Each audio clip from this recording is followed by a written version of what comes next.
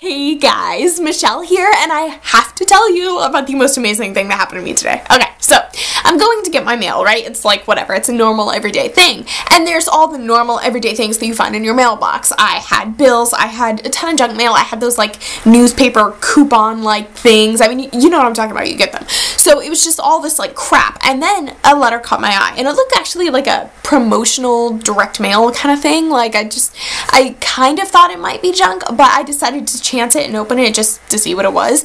Turns out there's a $500 gift card inside, and at first I was like, what? What what is this magic? Like how is this in my mailbox? And then i remembered i'd actually asked for it um, a couple of weeks ago. I signed up on this website and had them send me the gift card and and there it was in my mailbox. And i was like oh my god this is so amazing so um, it's totally legit, it's totally free. So I wanted to take a minute and share because this is like amazing. Hello, free $500 gift cards? Yes. Um, so you guys need to jump on this.